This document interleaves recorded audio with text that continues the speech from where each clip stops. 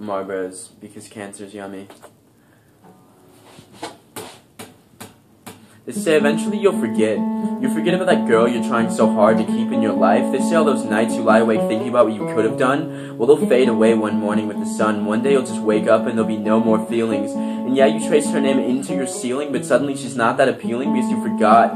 You forgot what it's like to feel her hand in yours. You used to think she was your entire world. Now she's just a void in your heart that's slowly filling back in. And you used to talk about you had no clue what you'd do without her.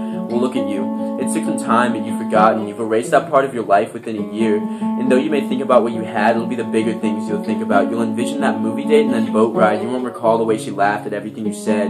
How she'd always leave a plate outside for the dead because it made them feel more welcome. Well, did I mention you're still alive? Even after all the times you said you'd never survive without her, you didn't die, and she, she wasn't your everything and your all. No, she was a simple plight on this course we call life, and though it was a tragedy, magically we're still standing on two feet.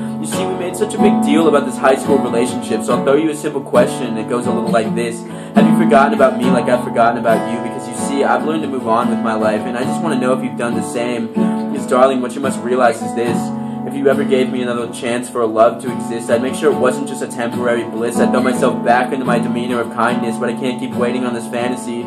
Because I've tried to be everything you wanted of me, but I'm just not strong enough. And after six years of constant addiction, I've given up.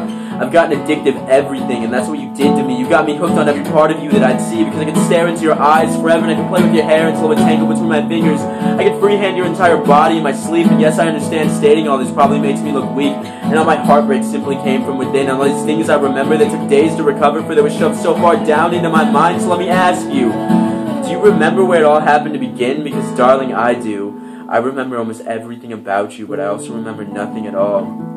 So every time my chest happens to rise and fall, I'm constantly changing. My entire mindset is always rearranging, and you see, the thought of you now only comes in random surges, like when I walk in the old market and my body unconsciously drifts towards the slides, or how when I walk outside and all I see is dark clouds, or I remember how we sat in your room that day and I got you to go and play in the rain with me. It was a heavy downpour, and you said you wanted your first kiss in this exact spot, the corner of 12th and Main Street. But you see, I forgot.